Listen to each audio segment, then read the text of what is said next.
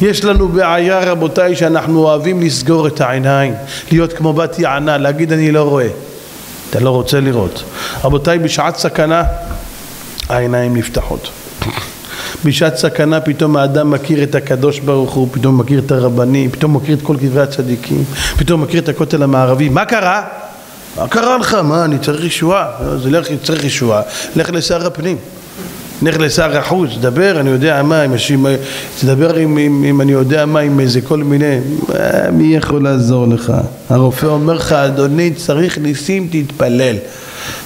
למי להתפלל? לבודה? לאן נלך? כל אחד יודע רבותיי שמע ישראל אדוני אלוהינו אדוני אחד יהודי בתוך תופת צועק את הקריאה הזאת זה ההמנון שלנו לא לא ההמנון שלנו זה לא תקווה לא לא תקווה זה לא ההמנון שלי.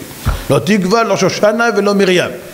ההמנון שלנו שבן אדם באמצע נמצא בסכנה לא תראו אותו צועק קול עוד בלב מה קול עוד בלב עוד מעט תקבל קול לתוך המוח שלך מה קול עוד כדור לתוך המוח מה קול עוד בלב אתם יודעים שפעם היה מחלוקת בין גדולי הדור, גדולי הדור החילונים, הם אמרו שהתקווה זה כבר ישן וחייבים לשבת ולטכס עצה משנים את ההמנון של מדינת ישראל והם רצו לשנות את ההמנון להמנון החדש על הדבש ועל העוקץ זה יהיה ההמנון החדש ישבו ודנו ומה הם הכריעו בסוף?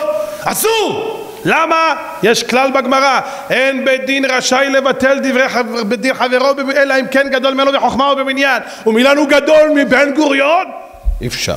השאירו את ההמנון על תילו ועד היום כל עוד בלב להיות עם חופשי בארצנו בלי שבת, בלי תפילין, בלי טהרת משפחה, בלי כללים, בלי חוקים פעם שהיינו מסתפרים היינו ילדים אה הסתפרת?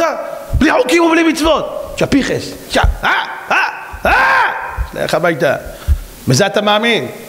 חוקי, בלי מצוות, תעשה מה אתה רוצה, תשתגע, כל מין על מינו, על שאלו מינו, נשוי, לא נשוי, היא נשואה, לא נשואה, הכל בסדר, מה זה משנה ליברליזציה, מודרניזציה, בידרוניזציה, דודיזציה, אינפלציה, פבלציה, הכל מלא צציה, הכל בפולי מוח, הלו, זה נראה לך חיים תקינים? לא, כל אחד יודע את האמת.